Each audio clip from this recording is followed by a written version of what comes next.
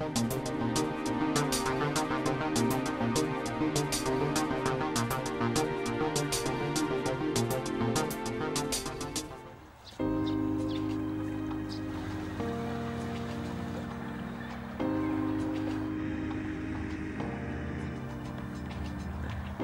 believe children should learn to cook.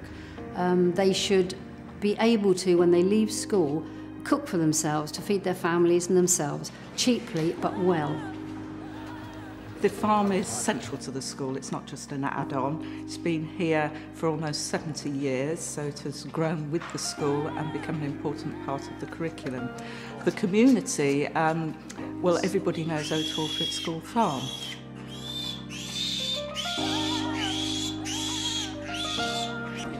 Who's picking up my piglet? I think we've got to remember there's a culture there of supermarkets, isn't it? And things are there readily labelled and packaged in any form from any month of the year from all over the world. And what I'm trying to bring back is that direct link between growing something and then cooking it and eating it. Right, over here as quick as you can. This morning first lesson was year seven. They have nine weeks practical cookery with me. In that nine weeks I do a healthy packed lunch with them and we do a lot of different skills because I like them to use lots of different foods. Today's lesson was about bread making. We're going to be adding some different ingredients. We've got cheese and herbs, garlic, poppy seeds and so on, and they might change it in some way. It's up to you now. You need to take your flour shaker, your flour, and go and get straight on. If you need a sheet, here's your worksheet. Okay, and off you go. Well, we're making bread today, and um, we're using um, um, flour, blend yeast, margarine, water, and a pinch of salt. And we can add either garlic, cheese, or I think it's herbs to add in. And I've chosen cheese to add in with mine. There's two different flour makers in East Sussex, and there's Jill Mill and Jack Mill, and they make the flour specially then. You can see it being made, and you can buy flour fresh from them. Right, you should be gathering your dough together now, ready to put on the table to knead. Remember, it's 10 minutes kneading. I'm sticking all the dough together so I can knead it. You have to leave it to rise for 10 minutes before you put it in the oven. Oh, I think everyone's dough now is ready to shape. You've done a very good job with your kneading. We can do any shape we like as long as they're all the same size. Then we put them in the oven and then they, they rise because of the yeast. How are you going to plait it? Which is going over which first? This one? Make it nice and tight. And you have to plait them over like you do in hair. And then this is just a normal roll and this is a sort of baguette shape. And you can also make a bagel shape or something, but it has to be able to rise quickly. We're trying to like make people see that it's um, you can have nice things if even if you're healthy. Poppy seeds and herbs are on the top there. The egg wash and brushes are there. My mother was a passionate cook, my grandmother was a passionate cook, and I can remember at the age of nine, I made my mother a birthday cake and I iced it and piped her name and everything on it as well, and that was at the age of nine years old. Ready to go in there, good. Remember the tray goes sideways on? Now, the problem with bread making, of course, is the proving. Generally speaking, they do just about manage it.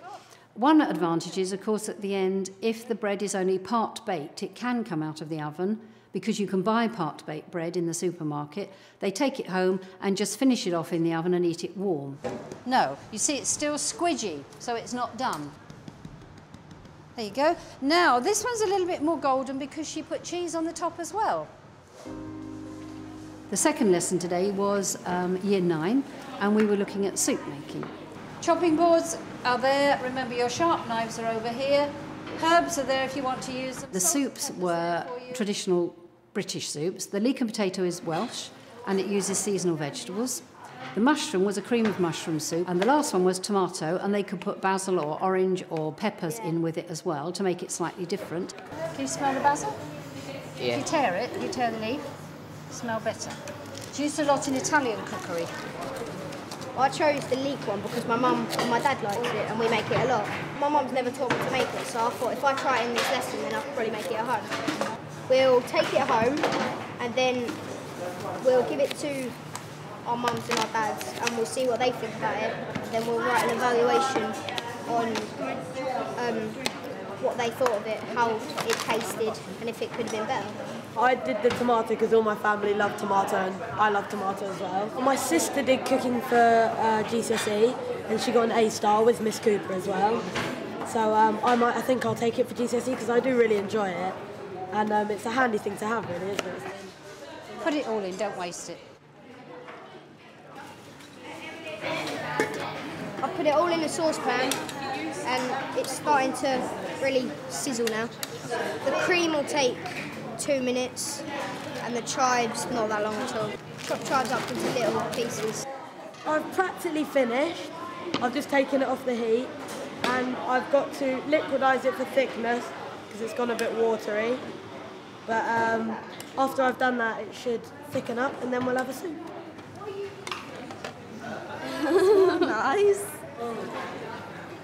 Yeah, they push down.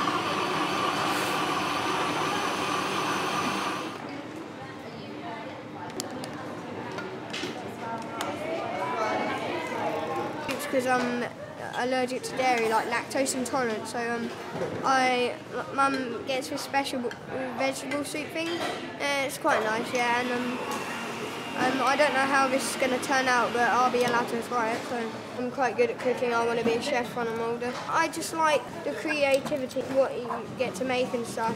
I want to open up a special shop called Dairy Free Daniel. Right, soups here with your clean saucepans, please. I think my mum will really like that because um, I've done it a bit differently because she only uses the potatoes and the leeks, but I've used chives, cream, nutmeg, and um, I think my dad will like it as well. Look at the lovely colours. Right, well done. What's impressing you about this then? The, apart from the colours? The decoration. Excellent, the decoration. You've all made a really good effort today. Lovely basil and parsley decoration.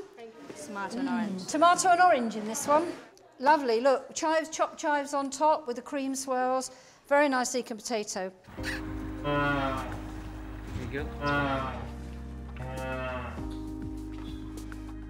I've developed it into what I like to call the outdoor classroom. Uh, and we've turned the farm here and gardens into a, a whole school resource. So it's, it's really impacting on every subject in the curriculum. I've bought three British cheeses this time. We've started a project where they're going to design and make a new savoury flan suitable for teenagers. So today we were looking at other ingredients they could possibly use in their flans for themselves. Um, it's quite, I think it almost tastes like rice pudding. We're looking at dairy products such as cheese, yogurt, milk, and like the different types of products, how they taste, what's the texture, just everything different about them, seeing what we want to include in our flan.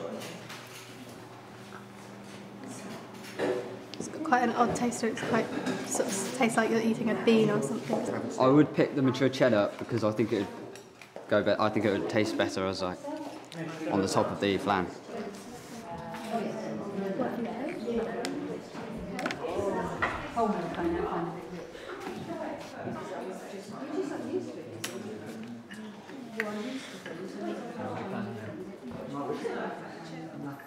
That's disgusting. That tastes like a cross between off cream and normal milk. We follow the lesson with a visit to our farm. The farm is situated at the other end of the school, where we saw a cow milked. And Howard Wood, our head of the farm unit, was very capable in telling them and explaining to them about the milking of the cow safely and hygienically. Well, this is the perfect way to learn where milk comes from. And we're going to show you really the routine that we go through in milking her. And it's really about how we keep that milk as clean as possible. Because all around us in this atmosphere are bacteria, or you may have heard them called microbes in science. Um, why is it so important to get stop the microbes getting up the teat? Right, if they get up into the udder itself, they can start to attack what we call alveoli, which actually produce the milk. The irony is for us, it takes about four minutes to milk the cow and about 24 minutes to clean the machine afterwards. I thought it was quite interesting because I didn't realise how many times um, they were milked during the day, and I didn't realise and like how the, the whole process of how you actually did it. I thought you just uh, did it by hand. the greatest strength, I think, is, is developing people's confidence and, and self-esteem. And it's this vocational learning, working as a team, being aware of safety, being able to communicate with people around you. I think that's the important things for people in their future lives. We try and produce, we produce a lot of meat, a lot of vegetables, and wherever possible that goes into the school. Stir fries and stroganoff today, yes? I know it's the first time you've made it and it's something new and interesting, different for you to do. Multicultural work, remember, using our homegrown farm food. Here we've got the pork, it's all measured out for you. It was actually pork fillet, which is a better cut than you had in the pork tenderloin on your recipe. And that's because it was a similar price and a better quality meat for you to use.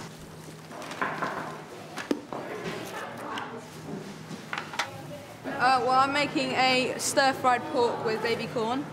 It's the first time we've, we've used meat. I do a little bit of cooking at home. I'm starting to help around the house uh, with the cooking. And um, because I'm learning here, it's sometimes I can like make a meal for my family at home. Um, I have garlic and I've got ginger if anyone would like to use any. The farm provided the meat for us this time, whereas normally students all bring in their own ingredients.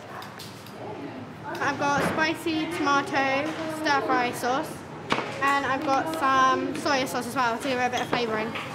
Sauce making, I always use the all-in-one method. The classicists would say it's not as good, but it serves the purpose in the time we have available. Me and my family usually eat it and then they give me some, like they say if they like it or if they don't like it and what I can improve on. We'll put the pork in first, so because the vegetables will go will cook quicker, and until this goes like a nice goldy brown, then we add with the vegetables. It's got to boil. Lessons at Oathall are based on a one hour timetable. It's very, very tight timing to get the children to come in, to prepare something, cook it, get it cooked, and get them out on time for the next lesson. So if you've got more than one skill in a dish, it's very difficult to do it in a single lesson. It's going from um, a sort of pinky colour to a white and then it, in the end it's going to go to a well brown. I've just put some of the sauces in and now I'm mixing the vegetables and the pork together and it should look really nice at the end. Right, how are we doing? Washing up? You haven't finished. Right, stir fries in the middle, please. You've done very well. You've learnt a new method. You have been better organised. There are a lot more new processes that you haven't done before today. So well done. I hope you enjoy them. And then off you go. Yeah, it's really good. I would hope that every school will be able to teach cooking. It's healthy, it's enjoyable, it's essential to their knowledge of um, how to eat well, how to eat healthily, about budgeting, um, about managing things, and it's a very, very good teaching tool for organisation and for planning. If we aim to have students who leave the school who are equipped for life and for being members of the community, then they need to be able to cook. These are the cross um, saddleback with the large white. It tastes so much better if you've grown it and then you've cooked it. I think it's fantastic.